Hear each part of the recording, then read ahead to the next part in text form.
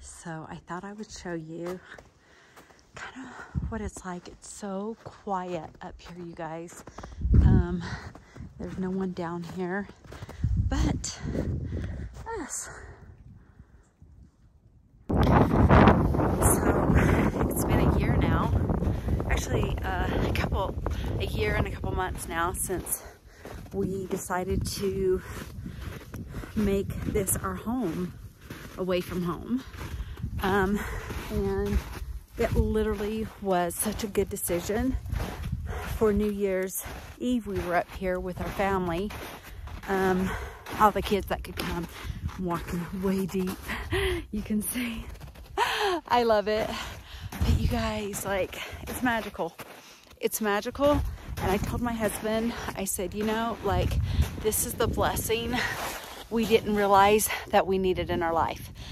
And it's been so fun remodeling and just trying to make this place our own. It's still not done.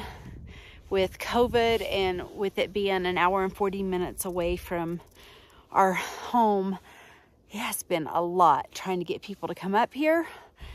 And sitting here in the snow, you guys, that's what it's about. But I really just want you to know that like, for me, I believe in intention and I believe in like looking for signs. And my sign, seriously, we went to a cabin in August during COVID because of everything. And I had this feeling that, that we needed to look for a place that it was worth our time, our money, our investment to find a place that we could completely you guys, I don't know if you can hear. There's the lake. We're on Lakeview. Um, can't really tell it's a lake because it's frozen, but you guys, this place is so peaceful. You hear nothing up here. It's dark by five o'clock and it is peaceful and quiet. And I realized I needed that in my life. It was something I never thought I needed.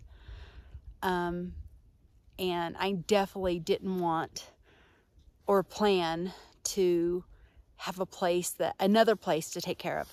And that was something that we really thought about.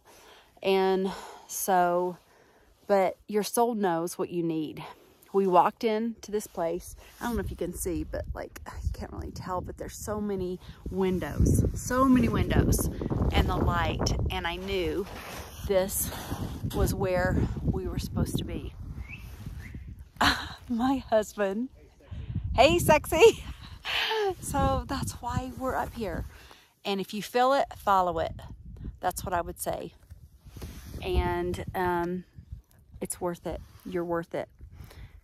Make those moments happen in your life, whatever they are.